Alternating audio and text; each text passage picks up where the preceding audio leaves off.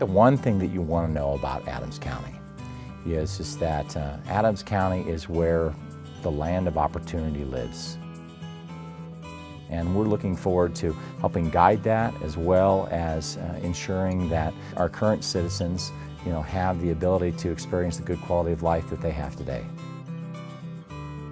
Adams County is around 1,100 square miles, incorporates uh, nine municipalities and about 465,000 constituents. We've been around in existence for a little over 110 years, so we have a, great history. It's been very rural and agriculture in nature, but we also have a very significant urbanized area in the southwest part of the county, closer to the Denver area. So the diversity of residents and the needs from the business community is pretty exceptional. And we have great schools. Um, it's just a really good family-oriented county is what Adams County is. I think economic development opportunity is the most important issue that we're facing in Adams County. Uh, frankly, this is where the opportunity lies in the Denver metro area, and we have a significant amount of already important resources and growth. We've been working to attract aerospace, energy, aviation, uh, logistics, distribution, uh, transportation, Every interstate in the state comes through Adams County. And in addition to that, uh, we completely surround Denver International Airport and uh, most of the legs of the rail, uh, the FasTracks program, all of those lines also go through Adams County. Um, if you want to get from point A to point B, uh, this is really the crossroads of not just Denver and Colorado, but maybe the entire Rocky Mountain West.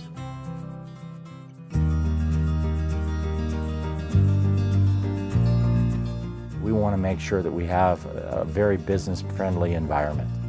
Our community outreach efforts really drives our economic development focus, um, not only with our citizens in terms of what businesses and jobs they want, but also our business community in terms of how we can support them. I've met with uh, county commissioners that are on opposite sides of the aisle politically. Some are Democrats, some are Republicans, but they all come together around uh, supporting Adams County. That to me is pretty unique.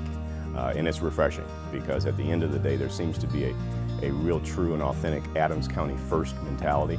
And uh, for a business owner here uh, running a company I can tell you that is that is tremendously important. In reference to Adams County I have seen a vision that's not been in place before. Um, a vision for the future.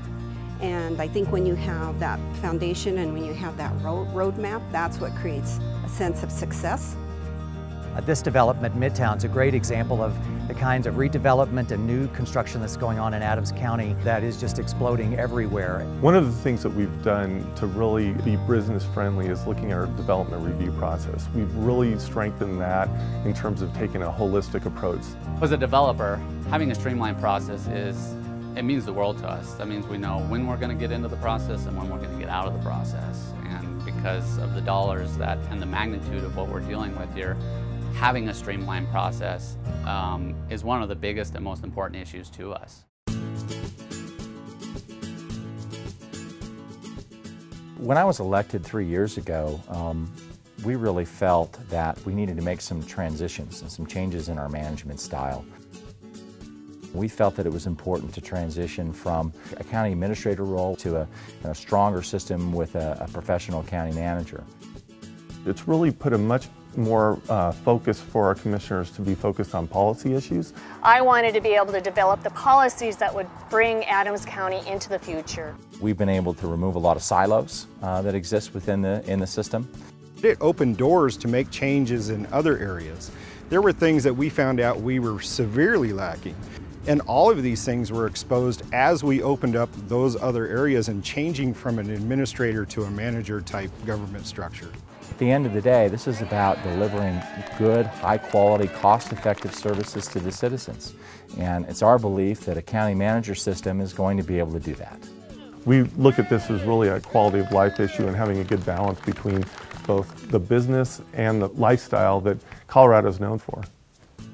You have to address all of the needs of the community to attract those great businesses. You have to have great schools, you have to have great housing options, you have to look at your infrastructure and make sure that it can support the needs of that business community. I think in Adams County we take a proactive approach to how we're going to manage our growth that balances the need for the current people that are here and, and their quality of life as well as the folks that want to live here down the road. I think there is so much potential for opportunity. Now it's up to us to uh, turn those opportunities into successes. I see Adams County, even more so than we are now, a regional powerhouse in the future.